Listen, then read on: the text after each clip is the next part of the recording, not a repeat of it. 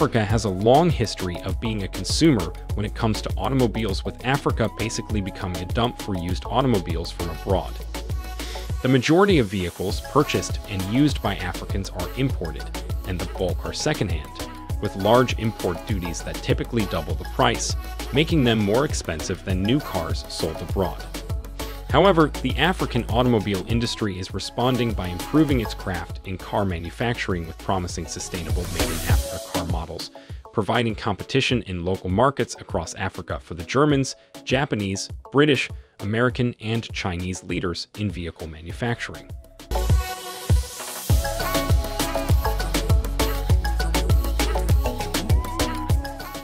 Number 10.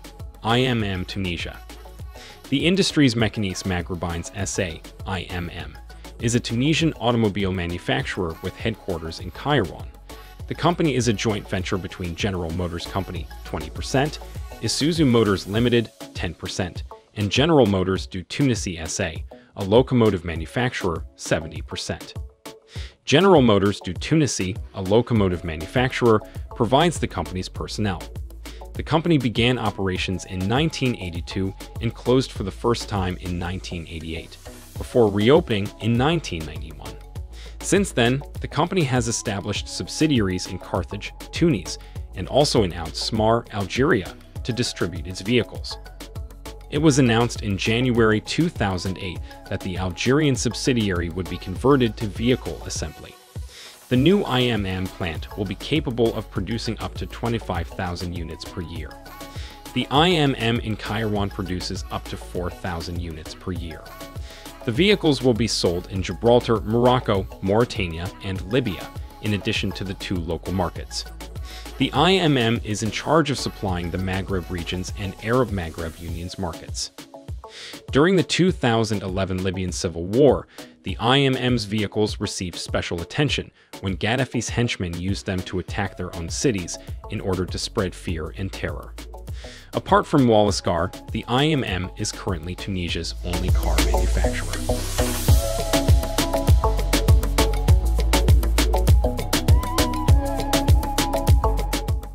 Number 9 2009 Sarok El Jamahiriya Libyan rocket.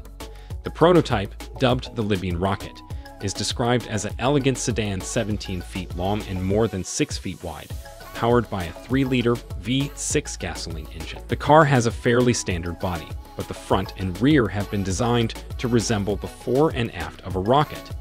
The car can travel hundreds of miles on a flat tire, which could come in handy while driving through the vast Libyan desert. Other safety features include a device that cuts off the fuel supply to prevent a fire in the event of an accident. According to the BBC and Fox News, it also has airbags, an unspecified electronic defense system, and a collapsible bumper. According to the BBC, construction of a factory to produce the car was to have begun in October 2009 in Tripoli. The project was funded by the Libyan Arab Domestic Investment Company, and the car was unveiled in Tripoli at the end of an African Union summit. The actual prototype was built using Libyan materials such as marble, leather, and fabric by Tesco TSSPA, an automotive design firm based in Turin, Italy, and is said to have cost up to $2.85 million. Number 8. Birkin Cars Limited Birkin Cars Limited is a South African car manufacturer founded by automotive enthusiast John Watson. The S3 Roadster is the company's specialty. Since 1988, the company has produced over 8,000 S3s. Because John was a fan of the classic Lotus 7, the S3 bears a resemblance to the original Lotus.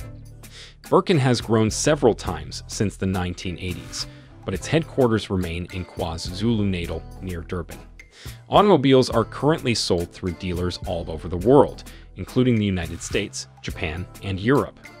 The car can be purchased as a turnkey vehicle or as a DIY kit that the owner can complete. Several inline four-cylinder engines, such as the Ford Zetec and Toyota 4AG, can be used in the vehicle. Further developments to the car include using an independent rear suspension, as opposed to the previously used live axle. As of July 2013, Birkin has added a wide-body version. This car is approximately 4 wider and 3 longer. Number 7. Kira Motors Corporation, Uganda. Kira Motors Corporation's, KMC, interests differ from those of other African automobile companies. The Ugandan automaker is interested in developing a hybrid electronic vehicle. The Kira EV, Africa's first mass-produced electric vehicle, was built in 2011 by engineering students from the University of Makerere who took part in the Vehicle Design Summit founded by MIT students in 2006. Kira Motors Corporation was established in 2014 as a joint venture between the Ugandan government and Makerere University. In its line of cars, KMC has Kayoola Solar Bus, which runs on lithium-ion batteries that power the electric motor, plus a two-speed pneumatic shift transmission, Kira EV POC, which has a battery bank capacity of 40 amp hours and 207 volts, and Kira EV Smack, which is the first electric hybrid vehicle designed and built in Africa. The car is cost-effective, and it can be powered by both diesel and electricity.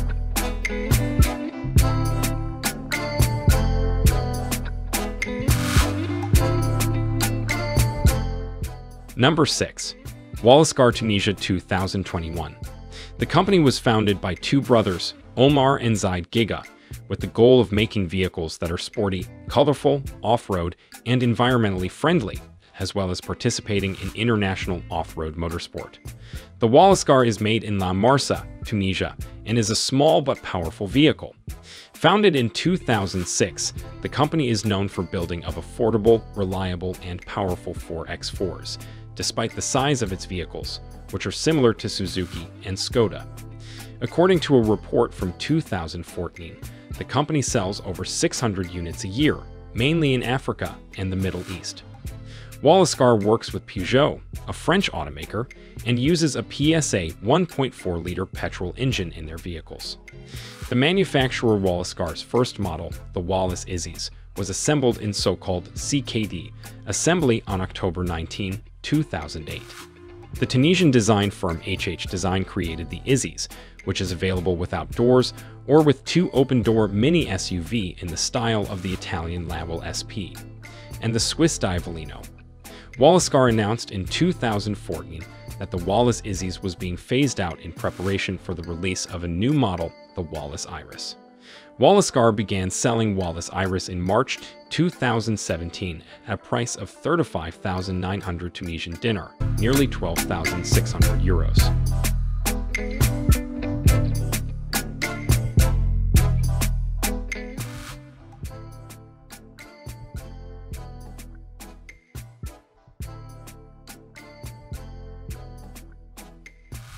Number 5. Mobius Motors, Kenya 2021. Founded in Kenyan in 2011 by Joel Jackson, the first generation Mobius RON 2 was launched in 2015, with the next generation released in 2019. Mobius uses the slogan Designed for Africa, built in Africa. Motors released their first batch of low-cost vehicles at the end of 2017. The multi-purpose vehicle, which costs around $10,000, was designed for the African mass market. Mobius motors are based on the common road terrain and transport usage in Africa. Mobius Motors sites are set not only on Kenya, but on any country with poor road conditions. Car companies are still focused on the BRIC, Brazil, Russia, India, and China economies. Africa is an overlooked market in general, and there is an opportunity to do something different, Jackson tells CNN.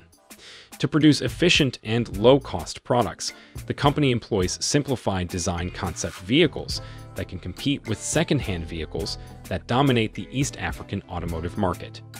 The Kenyan company that took up the audacious task of producing low-cost vehicles for Africa's off-road and rough terrain increased production of a newer, more advanced model in 2018 after an optimistic reception of its Pioneer model.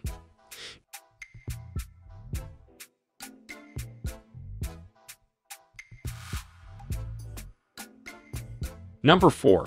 Nord Automobile Nigeria 2021.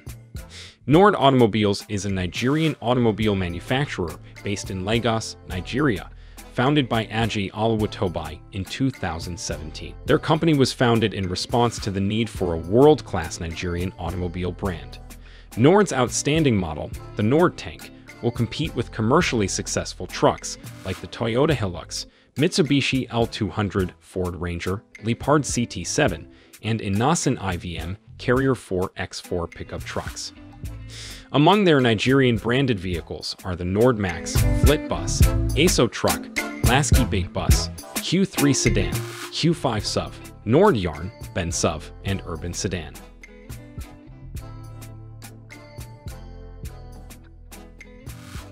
Number 3. Laraki Manufacturing Morocco 2021. Mohamed Laraki, a Moroccan businessman and car designer, founded the Laraki Automobile Company in 1999. The Casablanca-based automaker began by building yachts and later expanded into the production of high-end supercars. It produced its first car, the Laraki Fulgura, in 2002. The car is equipped with a Mercedes. The next car was Borak, which was followed by Epitome in 2013, and the company has continued to grow and evolve since then. The Laraki Epitome is the ideal blend of luxury and speed. It has a V8 engine with 1,100 horsepower RPM and a max speed of 175 miles per hour. Laraki Epitome never made it to mass production because, unlike large-scale manufacturers, Laraki builds concept-based cars. As a result, each customer's car at Laraki is unique. Laraki cars were ranked as some of the most expensive in the world in 2015, with prices exceeding $2 million. Laraki is now the most expensive car made in Africa as a result of this policy.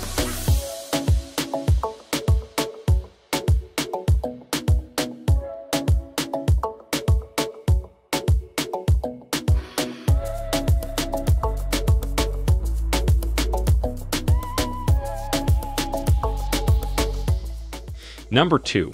Kantanka Motors Ghana 2021. Kantanka Cars is a Ghanaian automobile firm founded in 1994 by Dr. Ain, Kwadwo Safo Kantanka. The Kantanka is perfectly adapted to Ghanaian conditions. This is a feature that distinguishes it from Chinese and Japanese vehicles. The Kantanka is undoubtedly one of Africa's most promising vehicles. Kantanka produces saloons as well as four-wheel drives, the NQNMD and Kantanka Abasio are two SUV produced by the company. Another option is the Kantanka Onantefuo 4X4 pickup. At the moment, some Africans own this vehicle that was proudly manufactured in Ghana. Kantanka showrooms sell the vehicles in a variety of colors and models. The company had also declared that it will start manufacturing electric cars by the end of 2020. Despite the fact that the company has yet to publicly unveil the vehicle, images and videos of its assembly have flooded social media, with some even putting a price tag of between 40,000 Ghanaian cedis and 4 to 5,000 Ghanaian cedis on it. However, the CEO of Kantanka Group of Companies, Kwadwo Safo JNR, refuted the price on social media in a tweet. He explained that their most recent vehicle, the Kantanka Amonema EV, is not for sale at 4 to 5,000 Ghanaian seeds as published on social media.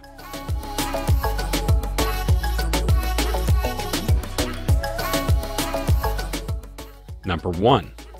Innoson Vehicle Manufacturing Nigeria 2021 Innocent Chukwuma, a Nigerian entrepreneur, is the founder and developer of the Innoson Vehicle Manufacturing Company in Nigeria.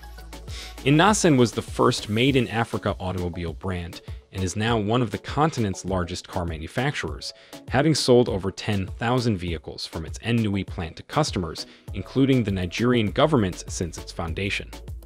According to Innoson Vehicle Manufacturing, we are not second-class citizens who should only drive used vehicles, which is entirely correct. Innoson vehicles are already on the market and in use in Nigeria, Innoson has released at least 500 Nigerian-made cars priced between 1.5 naira and 4 million naira.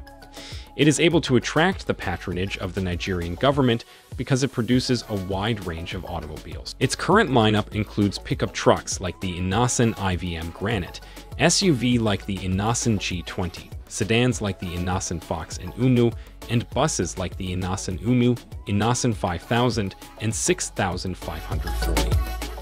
The IVM G80, a spoof of the famous Mercedes-Benz G-Wagon, has obtained so much attention in recent times. The car's low price, three year warranty on gears, axles, and engines, comfort, and ability to meet the needs of the average car user in Nigeria are just a few of the features that distinguish it. Africans are entering the automobile industry, positioning themselves to compete with more established car brands. To succeed, they must do a little more for their demographic and be a little better than their competitors. Cars made in Africa and by Africans are changing the narrative about Africa's ability to produce state of the art machinery. The end products is evidence of Africa's automotive industry, positioning itself to compete with seasoned and established foreign brands.